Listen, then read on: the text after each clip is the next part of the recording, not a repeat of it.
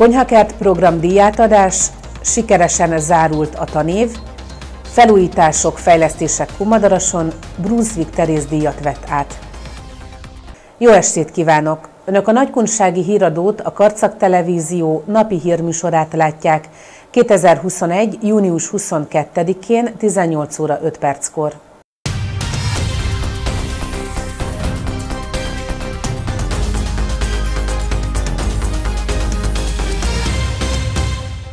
A Városháza előtti téren tartották a legszebb konyhakertek Magyarország legszebb konyhakertjei országos program 2020-as karcagi díjátadóját.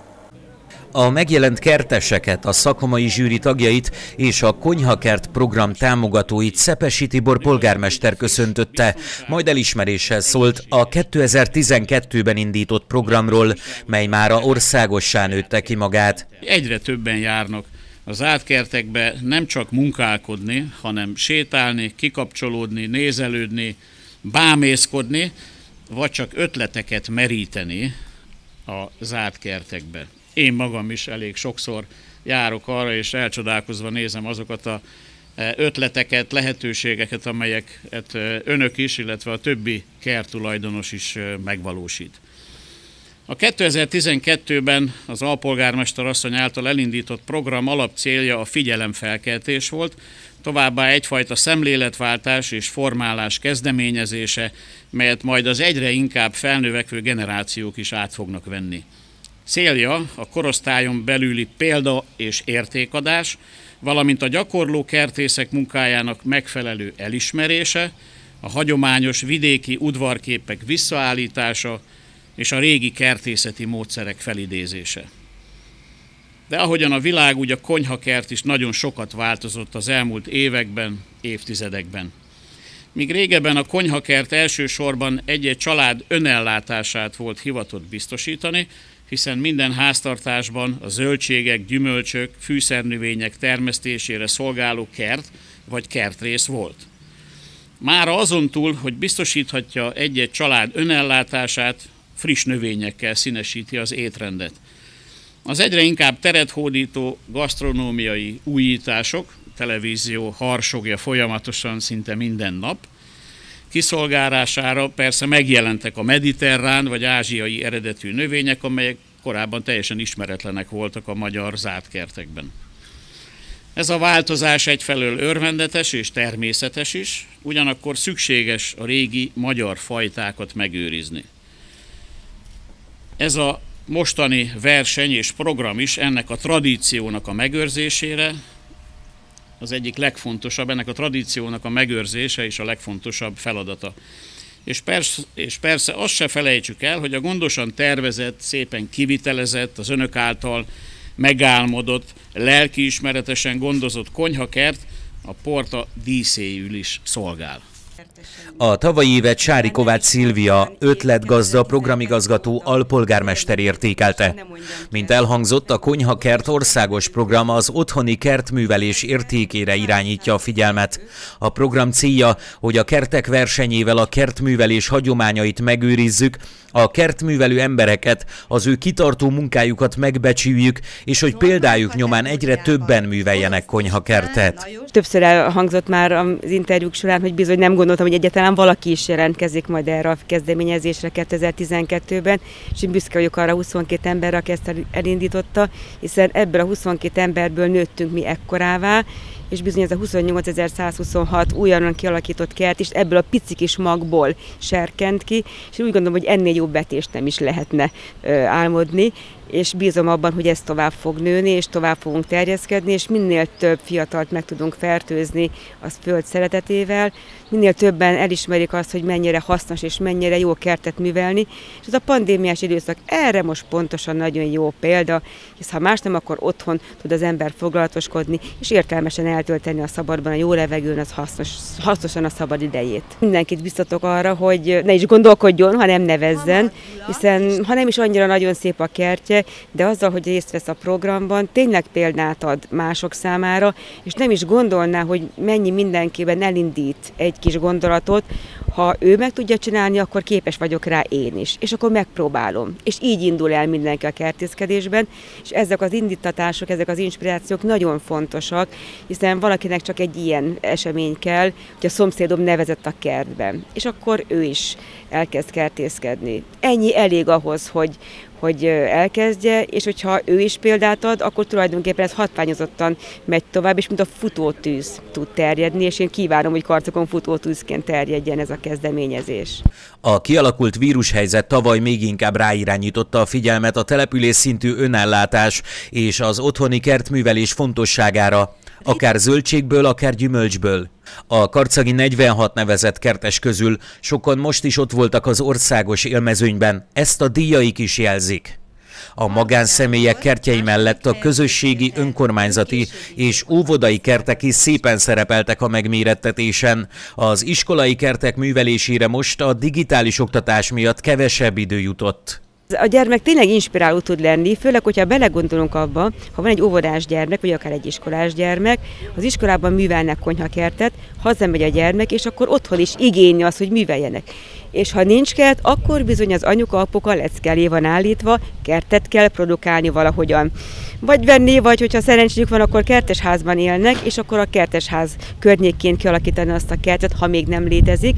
Vagy ha van, akkor zöldséget, gyümölcsöt belehelyezni, hogy tovább tudja folytatni azt a kezdeményezést, amit az óvodában látott. És én úgy gondolom, hogy ezek a jó, ez is egy jó példa, és én úgy gondolom, hogy ezekből lehet majd igazán öm, egy jó aratást lefolytatni.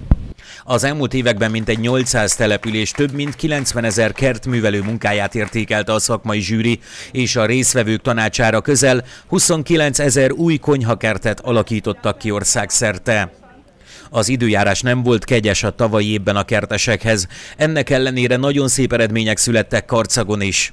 Az időjárás megint megtéfált bennünket, hiszen nagyon le van maradva a, a növényzet ebben a sokszor hűvös, sokszor csapadékos, vagy akár csapadéktalan időben, és én bízom abban, hogy majd az időjárás is most már akarja, hogy a kert az tényleg feléledjen, és most már tényleg úgy tudjon fejlődni, ahogyan az kellene neki június közepén. Bízom abban, hogy nem lesz már nagy próbára tétel a kerteseimet, az időjárás nem teszi nagy próbára, és tényleg háborítatlanul nyugodtan tudnak kertészkedni, így is sok munka van a kertben. Hát még, hogyha az időjárással kell harcolni. Bízom abban, hogy sem a kártevőkkel, sem az időjárással nem kell majd harcolni, és egy szép nyugodt évet fogunk tudni majd zárni. A legszebb kertek művelőit kategóriánként elsőtől harmadik díjjal, a többiek munkáját oklevéllel ismerték el, és többen országos elismerést is átvehettek.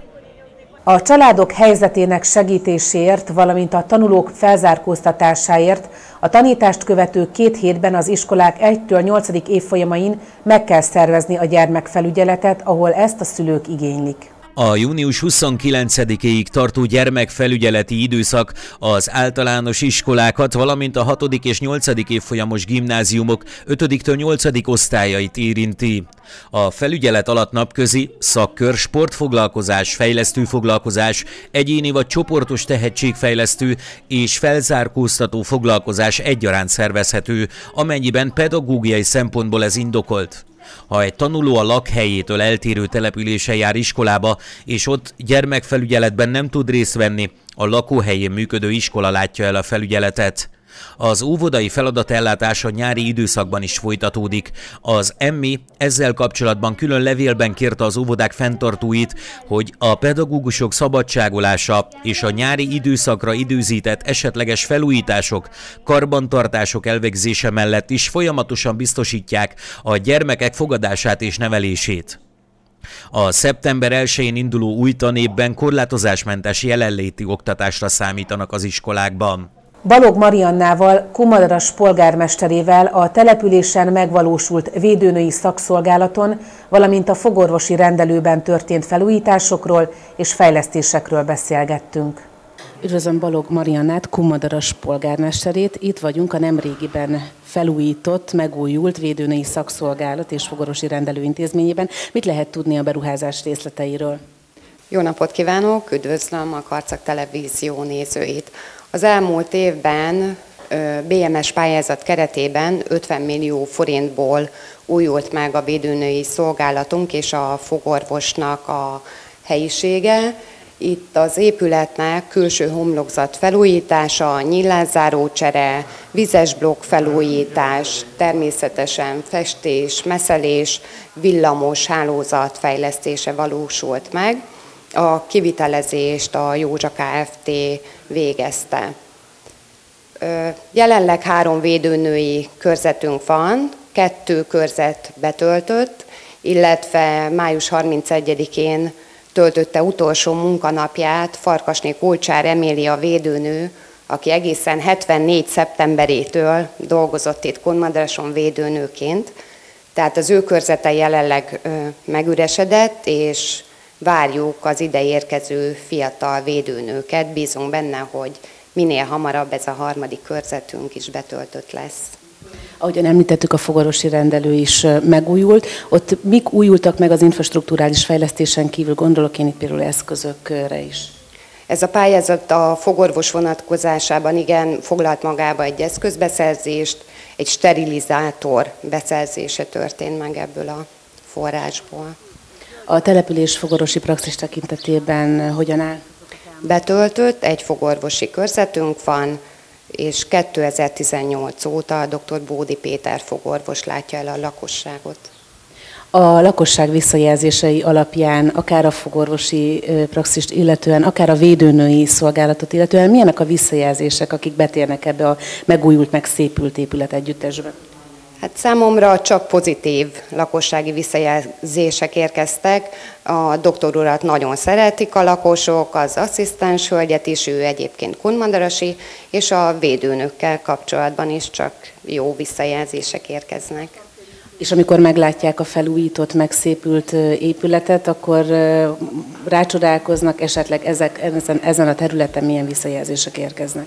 Hát nyilván mindenki örül neki, mégiscsak egy régi patinás épület ez, ahol jelenleg vagyunk, úgyhogy nagyon örültünk ennek a lehetőségnek, hogy fel tudtuk újítani ezt az épületszárnyat is. Gulyás Ferencné Budapesten a Vigadóban Brunswick Terész díjat, miniszteri kitüntetést vehetett át Maruzsa Zoltán államtitkár úrtól. Számtalan alkalommal volt már a stúdiónk vendége, és mindig az óvodai életről, az óvodában történt eseményekről beszélgettünk, de most ön lesz a fókuszban, hiszen a napokban vehette át Magyarország egyik legrangosabb pedagógiai elismerését, a Brunswick Terész díjat, amelyhez gratulálunk ezúton is. Nagyon szépen köszönöm ennek a nagy évet bejárt pályának, aminek ugye nem vagyunk a végén, a napokban egy méltó elismerése a Brunswick Terész díj, amely Magyarországon az egyik legrangosabb, hanem a legrangosabb pedagógiai díj. Hogyan fogadta az elismerést? Számított-e rá? Hát nagyon meglepő volt számomra, annál is inkább, ahogyan az előbb fogalmazott, hogy nem vagyok még a pályámnak a végén, hanem még azért vannak előttem jócskán évek és teendők, és hát egy ilyen díj nagy kötelezettséget jelent, nagy felelősséget jelent. Hát nagyon meghatódottan fogadtam, amikor megtudtam, hogy miniszter úr adományozza számomra ebben az évben ezt a díjat. De hát ez, ez annak az elmúlt éveknek az eredménye, amit itt a, a közösségeinkkel el tudtunk érni, hiszen 2014 óta vezetem az, intézmény, az intézményünket, ez az időszak nagyon nagy lehetőséget adott a fejlődésre minden oldalon, mind szakmai oldalon, mind pedig az óvodák megújulásának, az infrastruktúrális fejlesztéseinknek az életében. Úgyhogy azt gondolom, hogy ez egy ennek az eredménye, és hát itt ami nagyon megható számomra az, hogy itt ugye a teljes nevelőközösségem támogatásával, így utólag ezt azért megtudva, a városvezetésnek a támogatásával, és még mindemellett a szakmai szervezeteknek a támogatásával, hiszen több alkalommal volt már itt a városunkban a Jenő Néncike, aki az óvodapedagógiának egy nagyon elismert szakembere, és hát egyrészt ő kezdeményezte is ezt, másrészt nagy támogatást kaptam tőle az elmúlt években a pedagógiai szakmai munkámhoz, és hát egy nagyon nagy megerősítést a, a, a, a azt, ahogyan végezzük az óvodájainkban a szakmai munkát, és hát itt bizony meg kell említenem, sajnos már nincs közöttünk Dobos László polgármester úr, aki, aki szívügyén viselte az óvodák dolgait, és minden olyan támogatást megkaptunk tőle az elmúlt időszakban, ami ahhoz segített bennünket, hogy fejlődni tudjunk. De hát nagyon szerencsések vagyunk Szepesi Tibor polgármester úr személyében, hiszen ő ezt a viszi tovább ezeket a támogatásokat, gondolatokat, elvárásokat, mert azért vezetőként mondhatom azt is, hogy elvárások is vannak felém, de ehhez azért mindig minden olyan támogatást is megkapunk, ami lehetővé teszi azt, hogy tudjuk teljesíteni mindazt, hogy elégedettek legyenek velünk a szülők a városunkban, az óvodás gyermekeket karcagon úgy tudjuk nevelni, hogy a lehető legjobb körülmények között a lehető legmagasabb szakmai tartalommal, és hát nem utolsó sorban mondom, képviselőtestületnek a, az elismerését és a támogatását, hiszen az azért mindig szükséges, mert a nagy projektekhez ők mindig támogatásukat adták nekünk, biztosították a lehetőséget arra, hogy, hogy pályázzunk, vagy éppen az önkormányzat pályázott egy-egy nagy projektbe, vagy közösen pályáztunk, hiszen az elmúlt időszakban azért az óvodájaink nagyon megszépültek, megújultak, de hát mindig azt szoktam mondani, hogy a külcsín az egy dolog, és azon belül, hogy ott bent milyen szakmai tartalmi munka folyik és zajlik, az azért azokon múlik, akik ott bent vannak nevelők, a vezetőkön múlik, és hát ebben nagyon szerencsés vagyok, hiszen a kollégáim nyitottak voltak mindenre, és itt mondhatnám a Kuthenúti óvodának a megújulását, a Táncsis 17-es, a Szimovoda, a Kinizsi úti óvoda, a Zöldfa úti óvoda, közben még a megelőző időszakban Jókai, a Nagy Táncsis, tehát szinte már majdnem minden óvodánk nagyon szépen megújult, és ehhez kapcsolódtak azok a tartalmi fejlesztések, amelyek ugye a tehetséggondozás területén elértek bennünket, és nyitottak voltunk erre, és azért ezt hozzáteszem, hogy a nevelőtestületnek nagyon nyitottnak kellett lenni ahhoz, hogy, hogy ebben is kipróbálja magát, hiszen a gyerekek ők ott vannak, ők érdeklődőek, észrevesszük azt, hogy mely terület az, ami iránt sokkal fogékonyabbak. És akkor a kolléganőim a napi feladataik elvégzése mellett ugye a műhely munkák megszervezésére vállalkoztak, velem együtt, hiszen ahogyan mondtam, én magam is vezettem több tehetségműhelyt, és még azért most is szeretek bekapcsolódni, és ott lenni, hiszen ott csoda dolgok történnek, és Hát ugye ezekben a műhely munkákban nem csak hogy eredményesek voltak, hanem egy picit még szerettünk volna hozzátenni, és erre nagyon nagy lehetőséget adott nekünk a, a Nemzeti Tehetségprogram, a Magyar Tehetségsegítő Szervezet. A tehetségtanácsok bekapcsolódtunk az Országos Óvodai Tehetségsegítő Tanács munkájába, megalakult a Karcag és Térsége Tehetségsegítő Tanács, az óvodánk tehetségponttá vált 2011-ben, amit a háromszor akreditáltattunk azóta, és mind a háromszor kiváló minősítést kapott a, a külső szakértők által a, a tehetséggondozó munkánk, és hát ezek lehetőséget nyitottak arra, hogy mind vezetőként, mind a nevelőtestület tagjaiban, a műhelyvezetők a szakmai kapcsolataikat tovább építsék, alakítsák, mélyítsék, és a szakmai kapcsolatok mellett barátságok alakuljanak.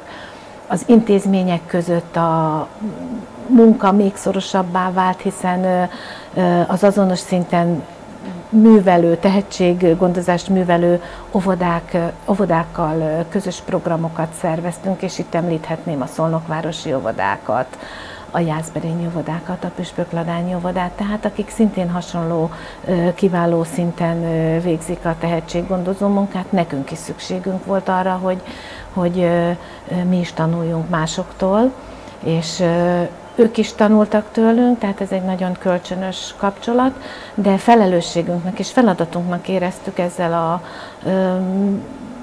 akreditált elismeréssel, hogy itt Karcagon és a térségben egy központi szerepet vállaljunk, és ezt meg is kaptuk ehhez a bizalmat a, a környékben lévő óvodáktól, és mondhatom azt, hogy nem csak az óvodáktól, hanem a városunkban lévő iskoláktól, civil szervezetektől, hiszen egy nagyon együttműködés, nagyon jó együttműködésben alakítottuk a programjainkat, és akinek szüksége volt rá, őket segítettük, támogattuk abban, hogy, hogy ott is mélyüljön el a tehetséggondozó munka, alakuljanak műhelyek, ha szükséges, akreditáltassák magukat, hiszen már elértek egy olyan szintet, és ezek azért olyan szakmai kapcsolatokat alakítottak ki, amit azt gondolom, hogy ebben a díjban is benne van.